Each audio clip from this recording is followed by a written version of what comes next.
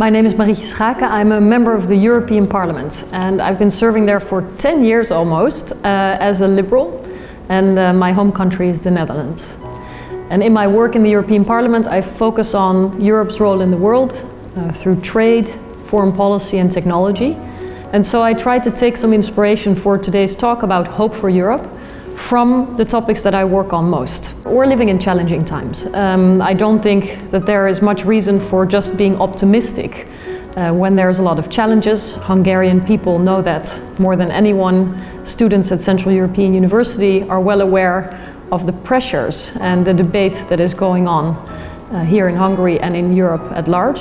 So I reflect a little bit on where we came from as Europeans, all the challenges that we've overcome, from the Holocaust to uh, the Yugoslav wars and what the scars are really that uh, have shaped us, but that have also inspired us, more my parents' generation than myself, but to build buffers against the worst kinds of atrocities and the violence that we've seen in history, to resolve conflict peacefully, to build a rules-based order and to make sure that there is fairness and a minimum threshold for well-being for people.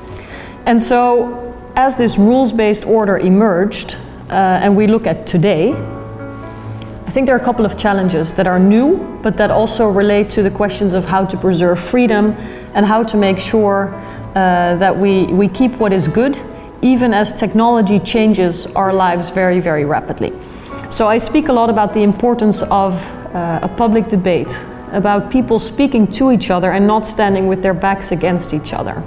And if you look at how the public debate has moved online, it's really essential that we understand how platforms like Facebook or YouTube are actually altering the debate, the political debate, and how the business models, the algorithms, but also the smart abuse by foreign actors, you know, hackers and other others, uh, for example, coming from the Kremlin, but also elsewhere in the world, may manipulate our public debate through a sort of clever uh, understanding of how these technologies are used by people.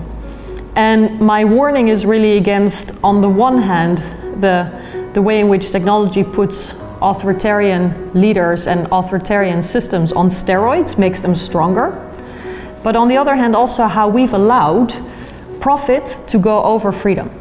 Basically, we've allowed advertising models and algorithms that are designed for efficiency and profit to be more important than our critical thinking and our analysis of how these business models impact our public debate, our political debate, and therefore our democracy and our freedom. And so I, I basically try to uh, encourage people to seek debate and not to stand with backs against each other. But in order to even keep the space for that debate, we have to be vigilant and we have to make sure that the rule of law that we have in the offline world also applies online. And so the hope uh, doesn't necessarily come from where we are, but from uh, what I think should be an understanding of where this could go and an opportunity now as Europeans to shape a rules-based model for the internet uh, the alternative can be found in China.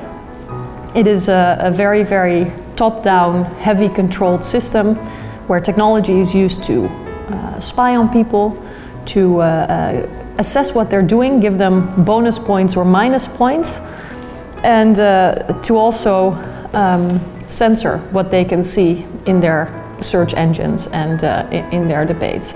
So I paint that as a model of, of what is opposite of what we should want in Europe. On the other hand, you can kind of look at what's happening in America, very market-driven model, and we should have a, a rules-based model in Europe. And I hope that people understand that we're now at a critical moment and that they will not only understand this, but also turn it into action.